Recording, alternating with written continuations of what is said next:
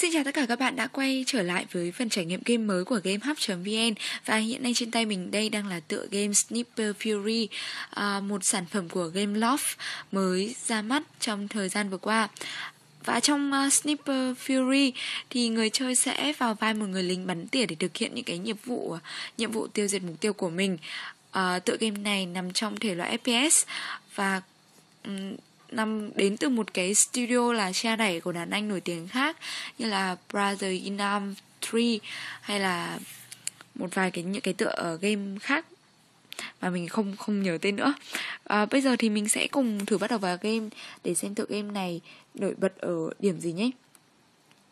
Trong game này thì người chơi sẽ được uh, nâng cấp à, có một uh, được cung cấp một cái xạ, khẩu súng trường sẽ đi xuyên suốt hành trình của mình À, trong thời gian trong khoảng thời gian chơi thì bạn sẽ được nâng cấp thêm nhiều những cái thiết bị tối tâm tối tân khác và game này nổi bật nhất có lẽ là ở phần công nghệ đồ họa khá là sắc nét, hình ảnh tuyệt đẹp ờ, mang lại những cái cảm giác chân thực. Và cùng với công nghệ đồ họa thì tương tự với Modern Combat 5 Blackout.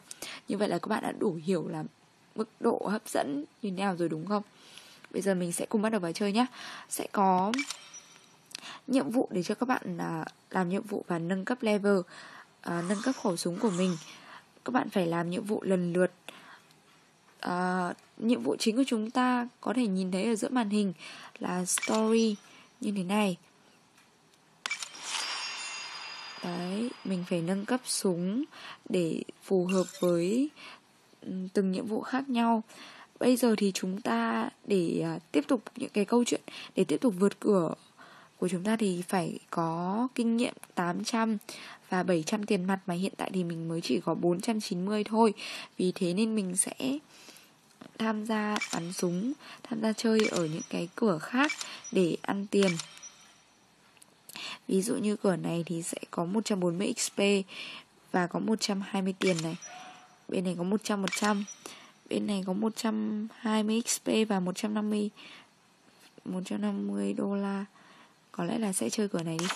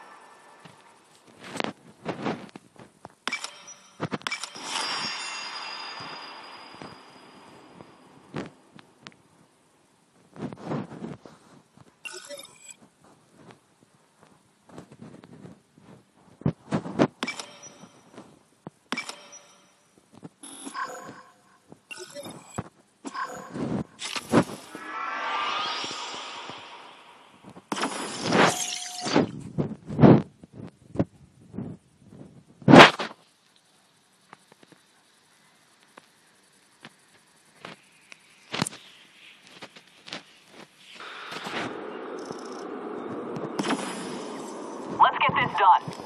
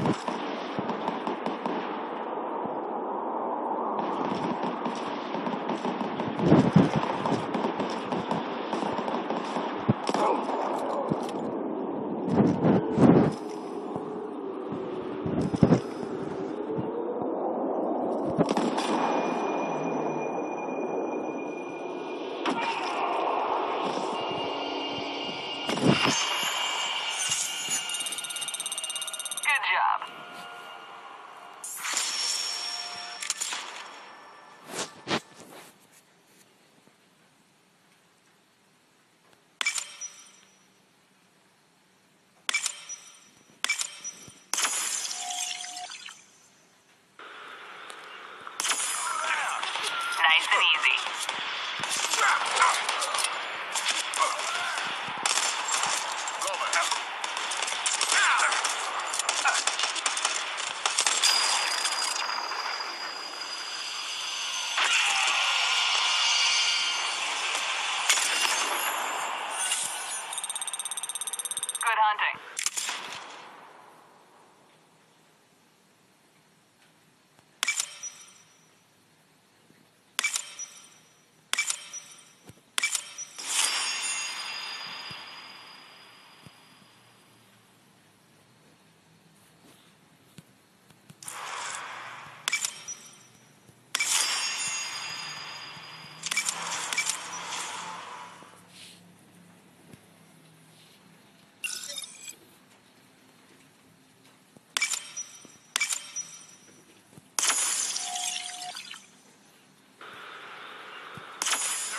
Weapon free.